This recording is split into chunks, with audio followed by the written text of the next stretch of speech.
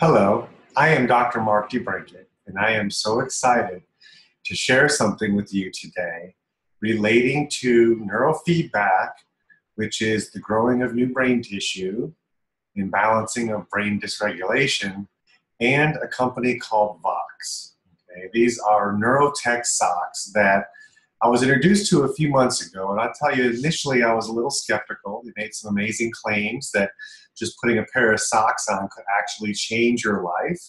But I have been playing with these and experimenting with several of my patients. Now, my background is I am a chiropractor, but I specialize in brain and spinal injury. So I have technology called neurofeedback that allows us to actually stimulate the growth of new brain and spinal tissue. So um, I once was was completely disabled, living in a wheelchair, and through several different technologies and products that were introduced to me along the way, I was able to actually get my life back. So my whole purpose is helping other people that have severe brain and spinal in- injuries get their life back.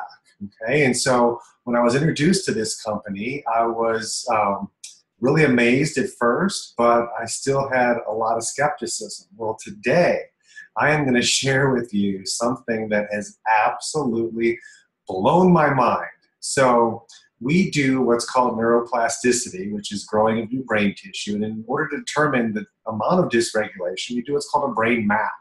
So, we put a cap on the patient's head that will record 12 different spots, up to 60,000 neural synapses every hundredth of a second. So we can get a real good idea neurologically what's really going on with you. Okay, and, and what we can do, what you're capable of doing, and really what you're not doing right now. So um, I've done thousands of maps over the years, and we have seen so many amazing miracles take place not only through neuroplasticity, but introducing different products and different technologies into the mix.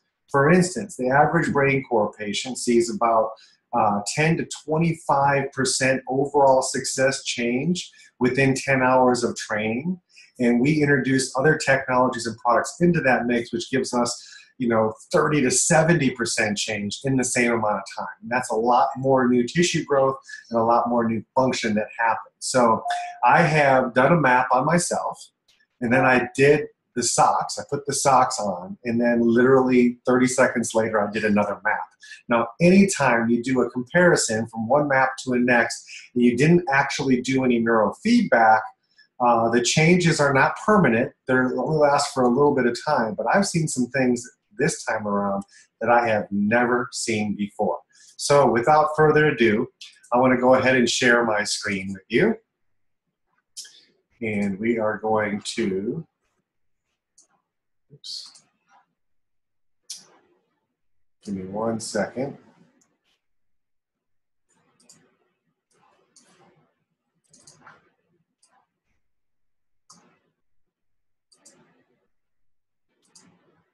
Okay, we'll try that again. Let's go ahead and share the screen. So on the left is a map in which we um, had my eyes closed for six minutes. And then on the right is going to be eyes open. Now, typically, if I ever do a map 30 seconds after one another, there should be zero change. It should be an identical map. Um, there is a variance of about 2% that's still acceptable um, as far as an average means for how it would change when we looked at it. So, with putting these socks on, you can see we've seen some amazing changes 34 and 48% change. I have yet to see anything create a 48% change just by putting a product on you or a nutrient or an essential oil or something of that nature. So let's take a look at exactly what changed. So there's four parts of the map that we look at. The first one is magnitude. This is what I had the capability of doing. We want to see everything on this map green. Okay, green is ideal. You got lots of reserve going in either direction. If it's yellow, it's very high. Red is high, yellow is very high. Light blue is low, dark blue is very low. So here's the thing the dark blues are the things that we're much more concerned about because if you're not having the neurological function there, we don't know if you'll ever be able to wake it up. Now, we have done lots of different things with essential oils, with ketones, with uh, microcirculation devices, and we've seen some significant change even in the magnitude area. Um, however, I'm going to show you an area of the map that was changed that we never see change by anything external except you growing new brain tissue, turning the power back on. So we can see a little bit of the yellow here. This top row was the very first map. The second row is the exact same thing we looked at in the first map, but now we have the socks on my feet. And so we can see that the yellow here is calmed down. Anytime you see something with a glowing ring around it, consider that green. Okay, it's still changing, but it's one fraction away from being green usually by the end of that day it does turn green. So we saw some change there. Asymmetry is how well can we departmentalize what we're seeing here. So for the asymmetry, what we really want to be is everything inside this box that I'm drawing needs to be red first and then it will all turn green. And so we have two of those, one on the right, one on the left. And so basically here, we wanted all this blue here to be gone. One of them was gone and turns green, and then three of these are already turning green.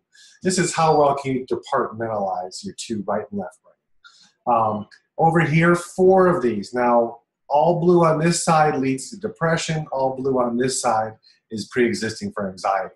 So four blues down to two, that's amazing. And then some of these already started turning green. So we've seen similar changes like this by doing different products and introducing them along the lines. But the next category here is called dominant frequency. Now, this one, when I saw this, it absolutely thrilled me to death because I have never been able to use a product and then remap and within 30 seconds see changes in this category. Specifically, the delta and theta part of dominant frequency. This part here is the most important part on the entire map, and it's usually the last part of the map that ever turns green. Typically, you need new tissue growth in here to turn these green, or you need to just be able to turn on the circuit breaker like it's been tripped off. So we have yet to do anything that changes this. And so what our goal here is for every patient is to make sure that there is no blue whatsoever in this area of the map. And you can see from seven blue, just simply putting on these socks turned the entire thing green. This was phenomenal. I about did a backflip when I saw that because I have never seen anything change it so quickly. And then over here with eyes open, again, um, F3 changed, and we had a significant change across this sensory motor strip, all turning green. So we have now introduced this into our protocol, and every single BrainCore patient that we get from this moment forward is using these socks along with their training because it's just giving them that extra edge. It's immediately stimulating and activating brainstem and allowing your body to correct a lot of the things that are imbalanced in your brain and interfering with your able to live a healthy, normal life. The last category we looked at is called interconnectivity.